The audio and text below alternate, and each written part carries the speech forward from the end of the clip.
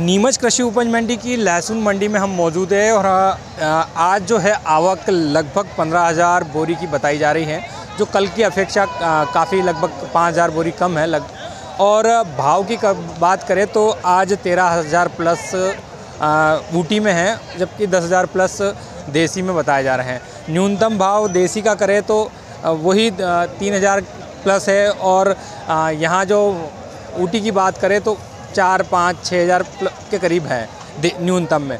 अब, बात करें तो आज सुबह और अभी भी बारिश का मौसम हो रहा है। बीच बीच में बूंदाबांदी हुई तो किसानों को थोड़ी सी परेशानी का सामना करना पड़ा। जिनके पास पाल थे, उन्होंने ढाक लिया। कुछ लोग ऐसे थे जिनके पास नहीं थे तो हाँ मामूली फ़सल गीली हुई है। अभी किसानों की यही उम्मीद है कि जल्द से जल्द उनकी उपज की नीलामी हो जाए, ताकि बारिश की वजह से उनको आगे परेशानी ना हो। और इसी चिंता में कुछ लोग किसान बैठे हुए हैं। वो भी अपनी उपज लेके आए हैं अपनी बारी का इंतज़ार कर रहे हैं कि कब तक उनकी उपज की नीलामी होगी। भाई साहब क्या नाम है आपका? लोकेंद्र सिंह। तो दरबार कहाँ से आए आप? मोड़ी माता जी। क्या लेके आए हैं? कौन सी वेराइटी की लहसन है? क्या उम्मीद है? ये तुलसी लहसन लेके आए हैं। तुलसी लहसन है अच्छी हाँ। सूख गई है तो? हाँ अच्छी सूख गई। हम्म। तो क्या उम्मीद है कितना तक जले जाने की उम्मीद उम्मीद है नौ दस हज़ार। हाँ। आज थोड़े 500 टाइट है भाव। जी तो हाँ उम्मीद आपको भी है। उम्मीद तो लग रही है। है ना? क्योंकि आज उपज की कम अच्छा अभी जो बारिश आई तो आपको परेशानी हुई क्या कुछ? परेशानी तो हुई ना हमें। हाँ। घर से भी पाल लेके आए मोल भी खरीदा हमने।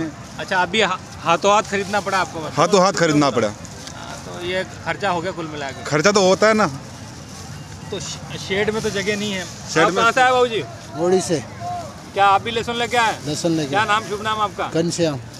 तो घनश्याम जी आपकी लहसन कौन सी है? बढ़िया है कि मिक्स है बढ़िया ऊटी है। ऊटी है? हम्म। क्या उम्मीद है आपको ऊटी के बारे में? बारह तेरह का बारह तेरह हज़ार। हम्म। मिल जाएँगे? हम्म। उम्मीद तो है। हाँ।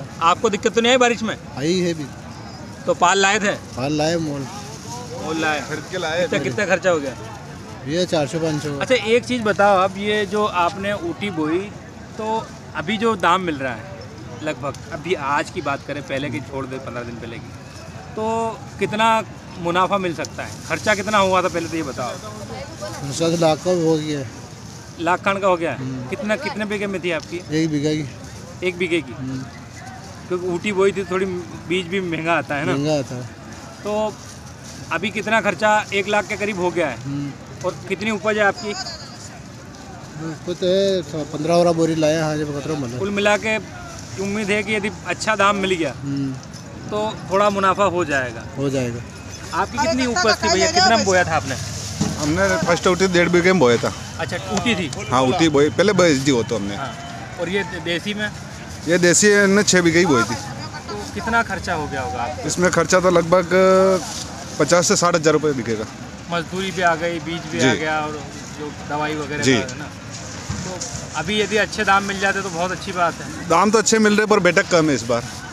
मतलब उत्पादन कम हुआ। हाँ उत्पादन बहुत कम है। तो उत्पादन कम होने का कारण? मौसम का है।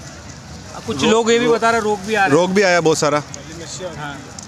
सफ़ेद मच्छी काली मच्छी आ गई थी इससे बेटे कम हुई। क्या क्या नाम है भैया आपका? गोपाल।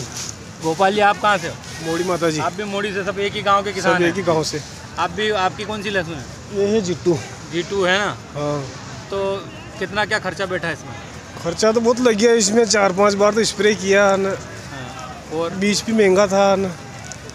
और मजदूर का न करके न हो गया बीस हज़ार बाईस हज़ार दिखेगा एक बीघे का बैठ गया आपको है ना बीस बाईस हज़ार? बीस बाईस हज़ार का तो बीज ही लगा। अच्छा अच्छा। बाकी दवाई बाकी दवाई और का ये दस पंद्रह हज़ार अलग से लग गया अच्छा, क्या उम्मीद है कहाँ तक जाना चाहिए? एक उम्मीद है यार रात्रि तो मकड़ी चाहे उम्मीद तो ये है कि दस हज़ार तो जानी चाहिए मिनिमम हाँ। आज की रेट से तो आपको भी थोड़ा मुनाफा हो जाएगा और हाँ दस हज़ार जाएगा। तो थोड़ा मुनाफा अच्छा, और लागत भी निकल जाएगी। बताओ आप कि आप लोग सब आए हो।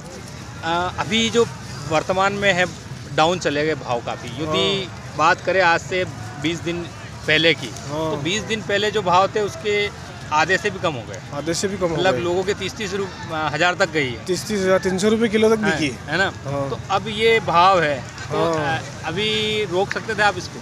और हमने पहली बार निकाली तब थोड़े तो बेचे खर्चा भी निकालना पड़ता है मजदूर का उनको क्या दे फिर पैसे? मतलब कुल मिला के बेचना भी मजबूरी है। बेचना भी मजबूरी है। हाँ। क्योंकि और रोके तो भी रोके कहाँ इतनी और घर पे है वो रोक लेंगे थोड़ी। थोड़ी बहुत तो बेचनी पड़ती है ना। इतना आप कहाँ से मोड़ी माता जी। आपके भी लहसन हाँ ये है देसी ये देशी? हाँ। तो ये तो छोटी मिक्स टाइप है ना मिक्स ही है? नीचे साठी को नहीं छाटी को नहीं हाँ। क्यों नहीं साठी को नहीं वामी क्यों क्या उम्मीद है को बा बादल गरजने लगे फिर से? हाँ बात तो बारिश होने की संभावना बन रही है जोरदार। अब अब कई करो लाया तो है। लाए हैं? हाँ। तो कुल मिला के जो किसान भाई हैं अभी जो दाम वर्तमान में चल रहे हैं हालाँकि उनकी अपेक्षा के अनुकूल नहीं है तो भी उनकी मजबूरी है कि उन्हें अपनी उपज बेचना पड़ रही है। उसका मुख्य कारण देनदारी है मजदूरी का पैसा देना है और घर की भी आवश्यकताएँ होती हैं उनको पूरा करना रहता है। ऐसे में कम दाम होने के बावजूद भी किसान अपनी उपज बेचने को मजबूर है। हालाँकि जो दाम है, नीमच मंडी में दूसरी मंडियों की अपेक्षा बेहतर है, जिसके चलते लोग बड़ी संख्या में यहाँ अपनी उपज लेकर आते हैं। Vijit Rao Mahadik, Market Times, Neemuch.